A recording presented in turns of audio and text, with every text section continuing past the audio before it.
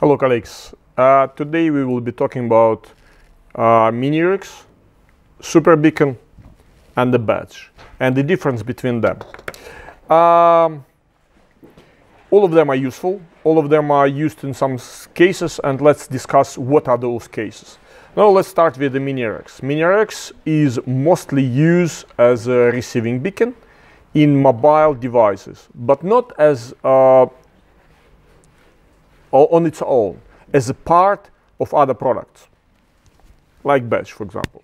Mini-RX is a single use, so it means that it can receive ultrasound, but it cannot transmit ultrasound like, uh, like Super Beacon, for example, does.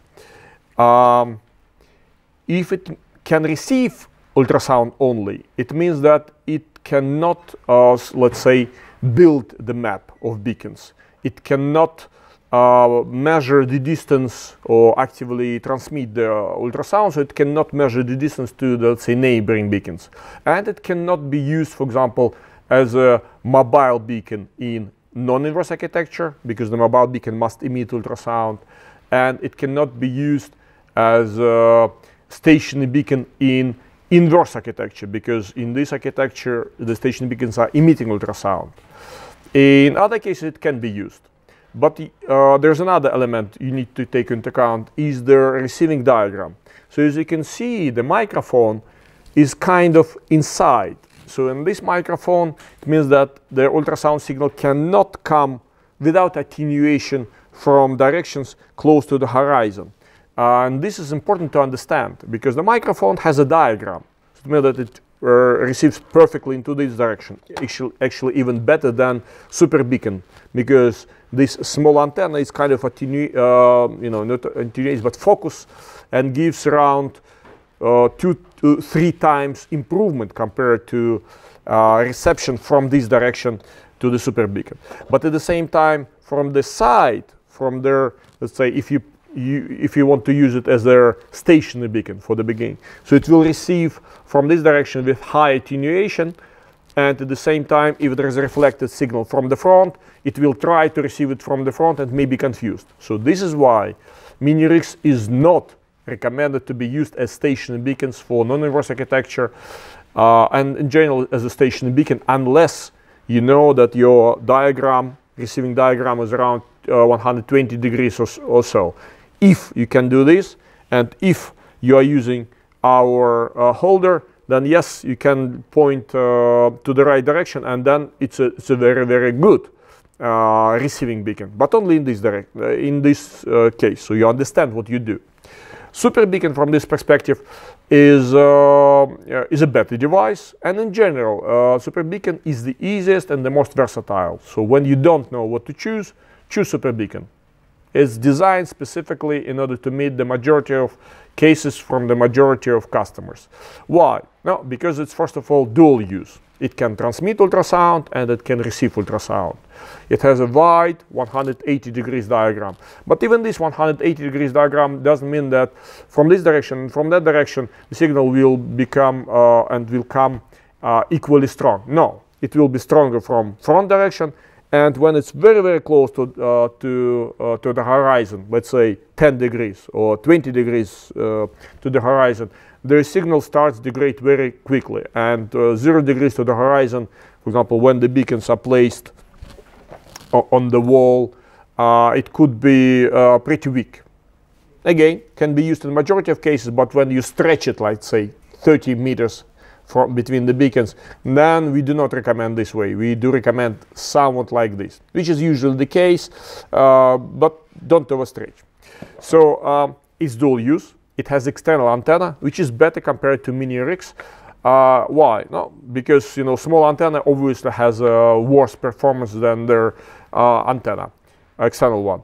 Uh, for those cases when you want uh, even better performance, we recommend the full-size antenna. Full-size antenna obviously uh, emit better in radio uh, than their shortened antenna. No, but the obvious benefit is the smaller size. And this is the biggest benefit of Mini-RX. As a smallest, smallest, smallest beacon, when you really, size does matter. Uh, since the size is small, so the battery is small, it's 500 uh, milliamp hour to 1000 milliamp. So roughly in the same conditions, it would work roughly uh, half of the time of uh, Super Beacon.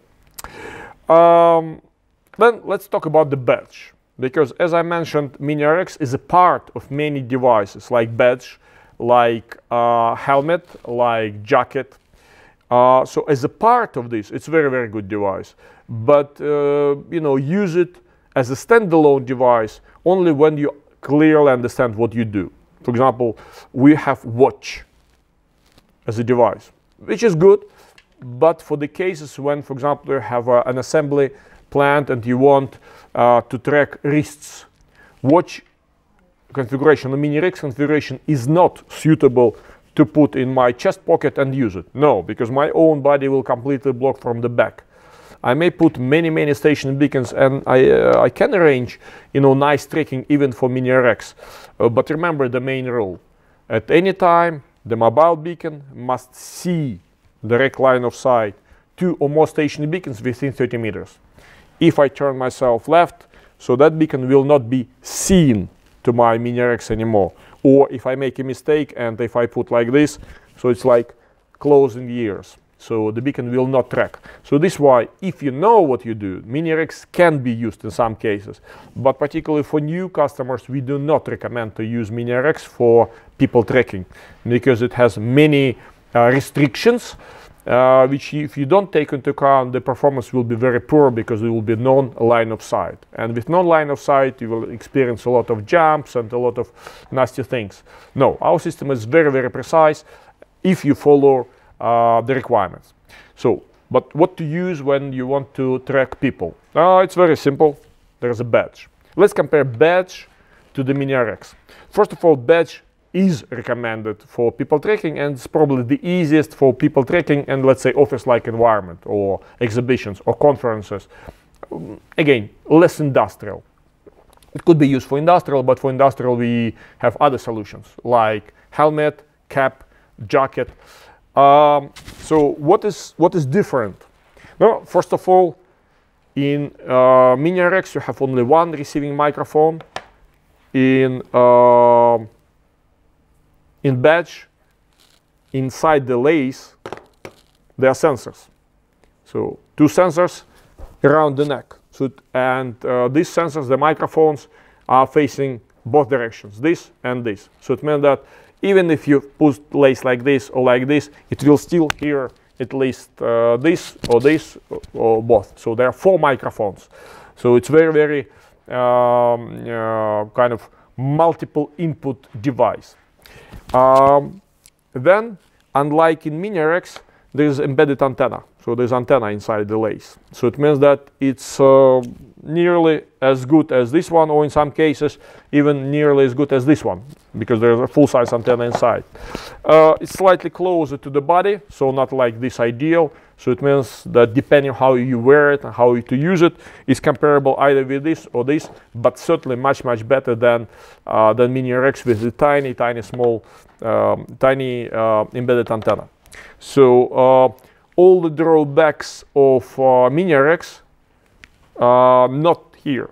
External microphones, additional antenna. Okay, the battery is still small, but uh, usually it still lasts a few days, like two, three days, depending on the update rate, etc. So then you charge them as your typical phone every second day or something. Um, uh, you also need to clearly understand, because our system is a um, high accuracy system, then the question is to which point? Like, like in you know cameras, there is a focal point, there is a particular point from where you measure distances, distance measurements, as well as in our case. So um, Super Beacon receives the ultrasound to, to this microphone. So this is the central point for receiving. For MiniRx, this is the central point for receiving. So the, the points are very, very clear. It's not geometrical something, it's this exactly point so when you need, you know, millimeters. Uh, but Badge, Badge has spread microphones. So there's a pair of microphones on my left side of the neck and on my right side of the neck. So it means that when I'm walking around, either left or right will receive. So it means that there is uncertainty or ambiguity in terms of which one will receive. Uh, the strongest signal, the strongest you will receive. So it means that theoretically you have ambiguity in where am I.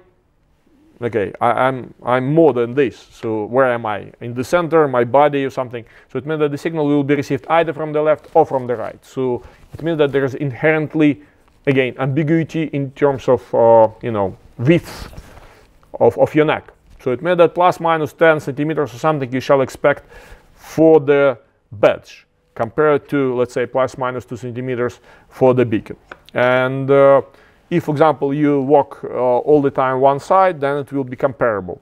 But if you move around, then instead of this, this may start receiving, and as soon as this start will receiving, it will be small jump of a few centimeters, and then it will be again very, very precise. So as a summary, when you don't know what to choose, choose Super Beacon. When size does matter, and you clearly understand the direction, the embedded antenna, their use the Mini RX. When you want to track people, use badge. Thank you very much.